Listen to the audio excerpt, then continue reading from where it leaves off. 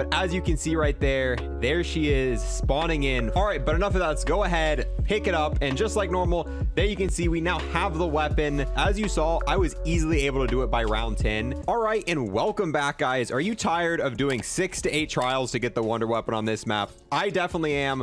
I'm not sure why, but it feels like getting the wonder weapon out of the trials on this map is so much harder than what it's been on previous maps. But that no longer matters. We now know how to build the entire thing completely for free. Don't got to do trials, don't got to get out of the box. We know all the steps for that. So in this video, we're going to break it down. I'm going to show you everything you want to do. I am going to leave out how to turn on power. I'm going to show you every single location, how to get there from like, you know, so that way you can traverse it. Even if you don't understand this map layout, I'm going to make this guide to show you where you need to go. But I'm not going to show you how to get power on. I'm going to have a link to a guide below if you don't know how to turn on power. But it's pretty self-explanatory.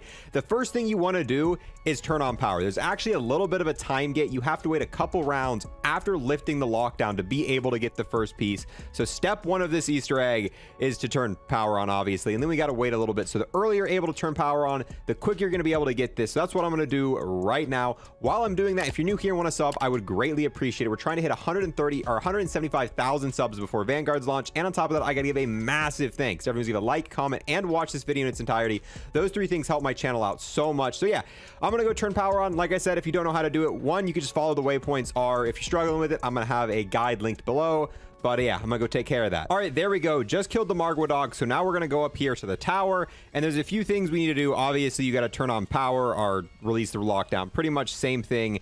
After this, you've actually got to go back over here and watch this cutscene. What this is going to do is introduce some of the Dark Ether elements, and we need the Dark Ether crystals to be able to spawn in to get one of these parts. So this whole cutscene here, and luckily you are able to skip it. I wouldn't recommend watching the whole thing unless you want to see it for the first time because uh, this cutscene is a very, very long cutscene, and I didn't realize you could skip it at first. Okay, there we go. Was able to skip it. Yeah, definitely skip it. That is like a three-minute long cutscene. If you had to watch that every game, honestly would make this miserable. Uh, from here, we now actually have to wait a couple of rounds. As you can see, it is round six. Hopefully, I think round eight. It's usually two to three rounds for my testing. Something's going to fall out of the sky, and we've got to wait for that.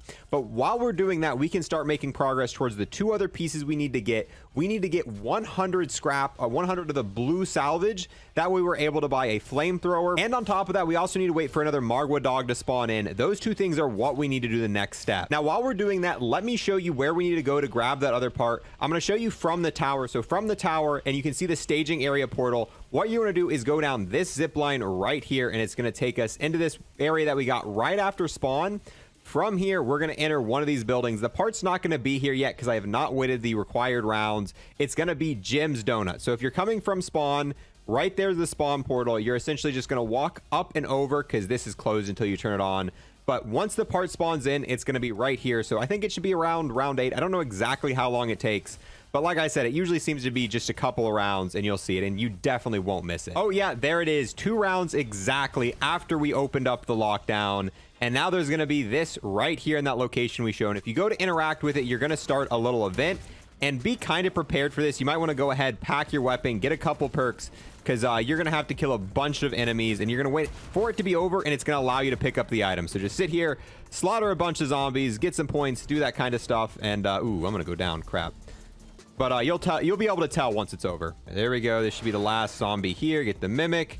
Get the zombie. Oh, another mimic. Never mind. Not the last. This should be the last mimic. Turn it. Oh, now we gotta wait for the turn mimic to die before we can pick it up. Nice. All right, now that it's dead, you can go ahead and pick up the crystal core, which is the first piece you need. All right, now that we've got that crystal, we've got to get the two other pieces. One of them requires having a hundred of the blue salvage, and you can see it's round nine. We're only at 40. We're gonna do the arcade, the uh, Nocturne Totem Easter egg, which is gonna give us 70 salvage. That way we're able to buy it. So uh, if you're low on salvage and you want to be able to go ahead and get it, this event's going to take 2 minutes and 30 seconds. And if you complete it, you'll end up getting a total of 70. The main goal for this is just aim for the headshots on zombies. If you slow down, aim for headshots, you're pretty much guaranteed to beat it because you have exact you have more than enough bullets and it's going to one-shot headshot the zombies, especially... Oh, well, Uh, talk about being accurate, and as you can see, I'm missing. So I'm going to go ahead and complete this real quick. All right, there we go. Easter egg done. Now we should be able to get our free rewards here, get some bonus stuff. But now we have 165, which is more than what we need. And now that you have the points you need, you want to go ahead, make your way to a crafting table, and you want to build a flamethrower. You're going to need it, so don't waste it. When it comes to finding crafting tables, honestly, I have a hard time finding them on this map. I feel like they're very, very scarce. There's one at spawn, but usually I'll go to the one in the... Oh, and there's the Margwa dog. That's what we need for the next step. But usually I'll go to the one in the uh, particle accelerator.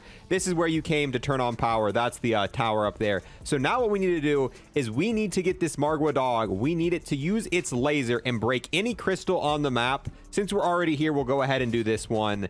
This is probably the hardest out of all the steps just because it's a little... Oh, did we get it? There we go. Actually, didn't take us long at all. So now we've got two pieces. Now we're just missing one. And this last one's super simple. All we got to do is wait for a Tormentor to spawn in and kill it with the flamethrower. But yeah, I will say we were a little bit lucky with that. Usually it takes me a little bit longer to get it. It just so happened that the uh, Margwa dog logged onto it right away. And I think I hear a Tormentor over there. So yep, there it is. What you want to do is pull out your flamethrower and all you're going to do is kill it with the flamethrower and it should drop an item that we can now pick up. Uh, if I can find it here, there we go. And look at that. All that's going to be different intel for you to collect. And as you can see, we have all three parts now. All you're going to do is head back over here into the bath.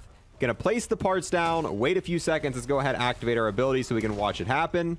Oh, and I'm going to go down. Nice. Okay, there we go. I actually found out what I was doing wrong. If we go ahead and kill a zombie, as you can see, nothing's happening when we're killing zombies. But if we melee a zombie, you can see that this is a soul chest that you have to kill zombies with a melee weapon for it to work. And last time I did this, I was actually using the wonder weapon itself that I got out of a trial. So that's why I was able to do it by just killing zombies in front of it.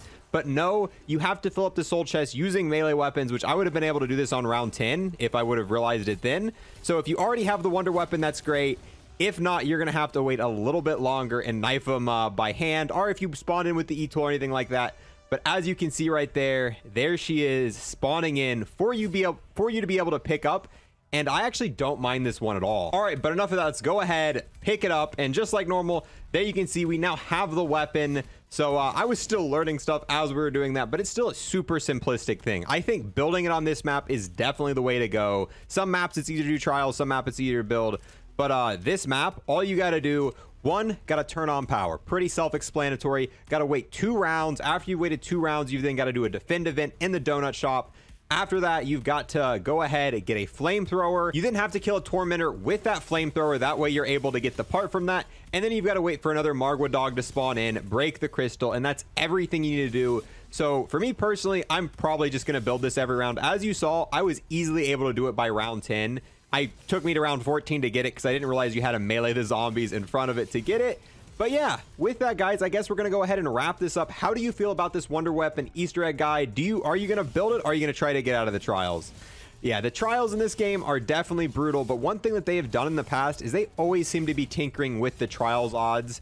They kind of change it. I know for Firebase, it changed so many times during the map's lifespan, so it might actually become easier to get out of trials later on but only time will tell for that, guys. So with that, I'm going to go ahead and wrap this one up here. Thank you guys so much for watching, especially all the way to the end, and I'll see you guys next time.